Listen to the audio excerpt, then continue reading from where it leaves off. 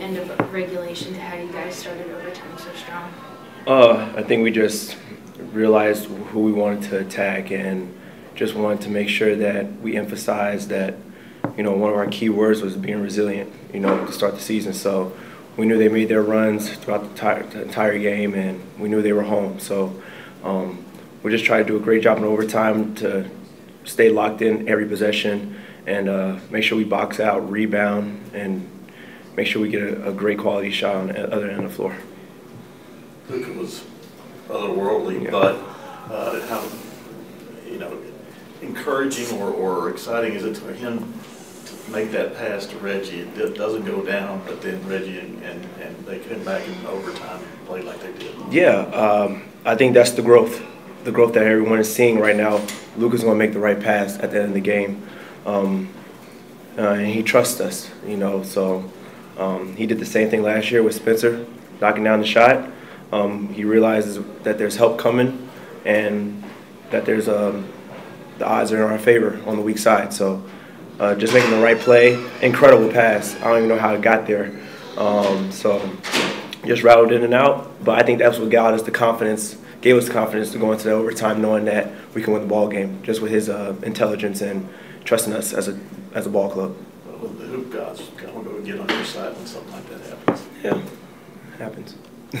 What just went through your mind when you made a face when you looked oh, at Lucas? I didn't realize he had 41. Yeah, yeah, what, what were you thinking? I, I mean, I didn't check the stat sheet. I just saw him. Decent. It was a decent night. Yeah. Solid night for 77. And Tim, for you, I feel like we hear as, from the outside a lot about, oh, it might take Simmons a while to get back because it's been a while. It might take Jamal Murray, you know, a bunch of games to kind of get his legs back under him. For you, how do you kind of approach that? Because he missed the whole season last year, but it's been like eight whole months since you've gotten run like this. Yeah, um, I think I you know just credit the off-season work workouts, credit the the coaching staff, the training staff during training camp, just making sure that I stay locked in and definitely listening to my pops, um, talking to him a lot, telling telling me to use training camp to overly exert yourself, um, playing both sides of the ball, and and uh, making sure that you're involved in every action during training camp, so you get your wind and everything back. You know, so I, I asked for some advice from the guy that's been there and done that. So uh, no, no, always happy to have that in my back pocket. Say Hall of Fame advice. isn't Yeah. Hall of Fame advice is, isn't bad advice, right?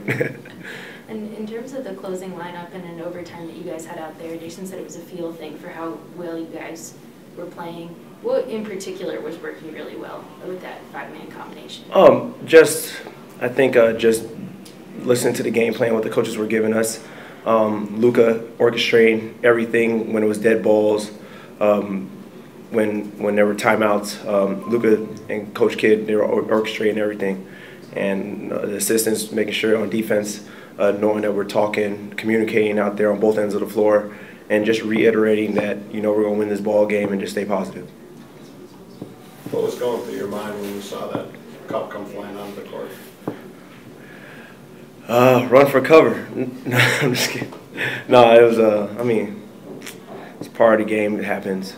Um, uh, the refs did a great job of just making sure we got to our benches and uh, stayed safe. Um, so the the security handled it very properly and well.